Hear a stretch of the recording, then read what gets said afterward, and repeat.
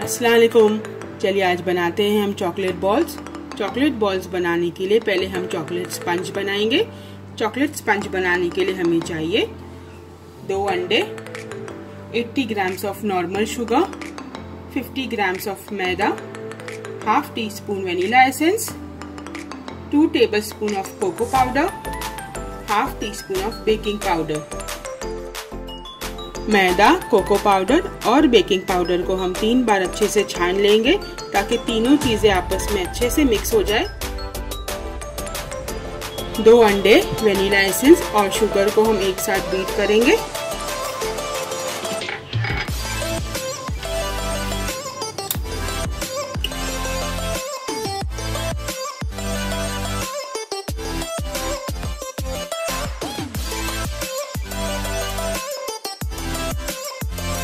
अंडों को ribbon consistency आने तक बीट कर लिया है।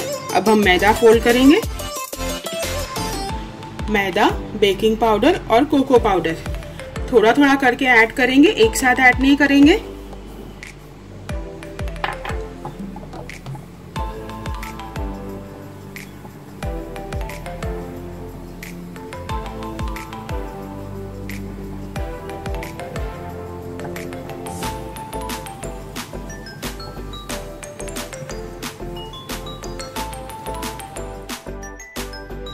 केक टिन को बटर से मैंने अच्छे से ग्रीस किया है। केक का बैटर ट्रांसफ़र करेंगे।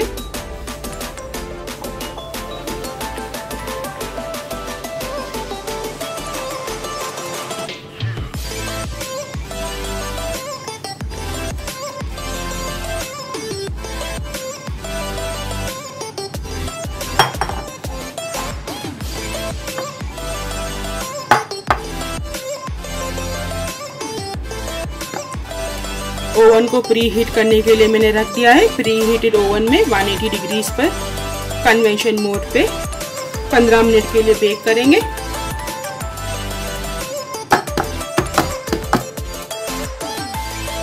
चॉकलेट स्पॉन्ज रेडी है हमारा। एक टूथपिक इंसर्ट करके देखेंगे। अगर टूथपिक क्लीन आती है तो आपका स्पॉन्ज रेडी है।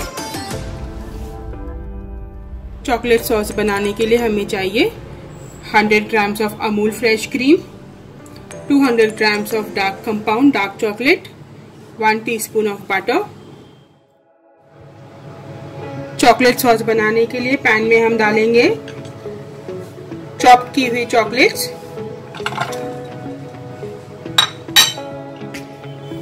fresh cream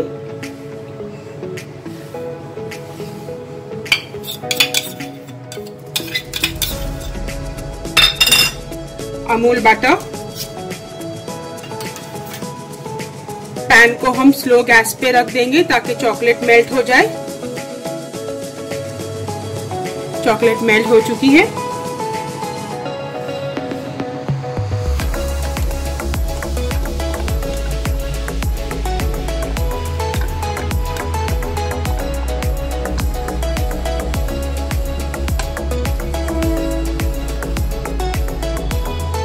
रेडी है चॉकलेट सॉस।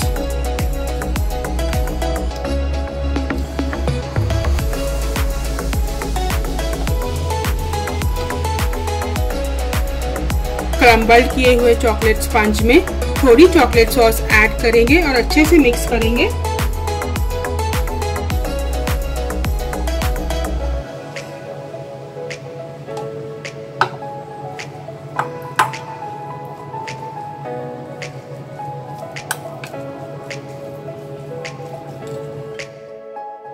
मिक्स करने के बाद छोटे बॉल्स बनाएँगे। चॉकलेट बॉल्स को चॉकलेट सॉस से कोट करेंगे।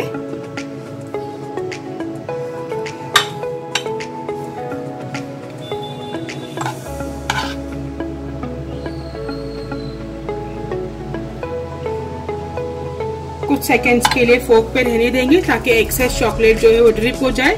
उसके बाद बटर पेपर या एक प्लेट में रख देंगे और फ्रिज में रखेंगे ताकि सेट हो जाए। तैयार है चॉकलेट बॉल्स चॉकलेट बॉल्स को मैंने एडिबल सिल्वर बॉल्स और ड्राई चेरी से डेकोरेट किया है। अगर आपको मेरी रेसिपी अच्छी लगी हो तो प्लीज़ लाइक करिए, अपने फैमिली एंड फ्रेंड्स के साथ शेयर करिए और मेरे चैनल को सब्सक्राइब करिए। Thank you